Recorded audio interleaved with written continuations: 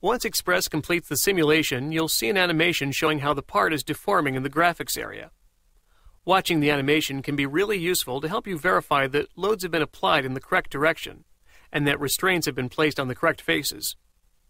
More importantly, observing the deformation of a part in an animation can provide valuable insight as to how to improve the design.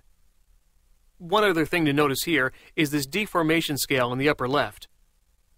Express intentionally exaggerates the deformation of the model on your display, so you can clearly see what the behavior is. In this case, you can see it exaggerated it over 59 times the actual deformation. So you can clearly see how the part will flex when it's under load. Remember, one of the assumptions about using Express is that deformations must be small. If the results here were to appear at a 1 to 1 scale, it might be too small to clearly see how the part will behave. Full versions of simulation allow you to control this deformation scale, and even set it to a scale of 1 if you want to visually see the exact deformation. If the part deforms differently than you expected, you might need to go back and double check the fixtures and loads to make sure they're applied correctly. This part is deforming as I'd expect, so I'll stop the animation and click the Yes button to continue viewing the results. Express provides results for stress, displacement, and factor of safety. Let's go through each of these so you have a clear understanding. Starting with von Mises stress distribution, if I click the link in the task pane, Express creates a color-coded plot showing the maximum and minimum stresses on the model using von Mises criteria. The full version of simulation offers plots on many other quantities, such as principal stress and strain.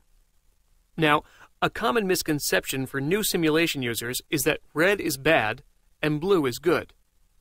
While that can certainly be the case in some tests, the color coding simply represents the maximum and minimum stress that the part is experiencing under the load. To interpret the results in a meaningful way, you must pay attention to the values in the legend. Notice at the bottom of the stress plot, Express shows what the yield strength of the material is.